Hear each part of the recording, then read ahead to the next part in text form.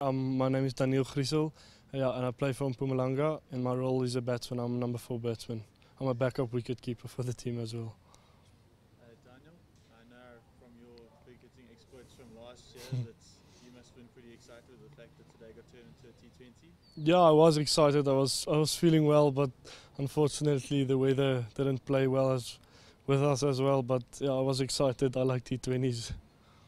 And um, I think you were 37 not out, I think it was, and I'm sure you were getting ready to launch when the when the rain came. Yeah, I actually was, but didn't go our way with the weather. So more, tomorrow's next, uh, another day.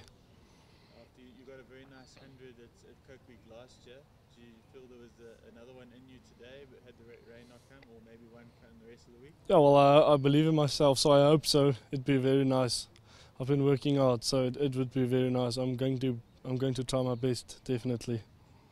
And I'm sure, you, like like a lot of your innings, is there won't be too much running between the wickets with plenty of boundaries. Yeah, I like hitting boundaries, but running between the wickets I think is important at the start of the innings. But at the end, you must go for it. And I have to ask you about the, the shiner you've got on your eye there. yeah, we, we prepared for Coke Week and one got of a short length hit me through my grill, got stuck there.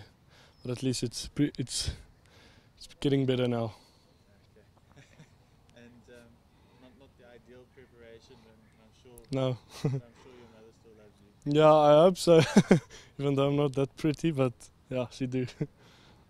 So cricket more dangerous than rugby it seems. Yeah, definitely. If rugby you get tackled, you have a little blue spot. In cricket, you can get very much. You can very, get hurt very badly.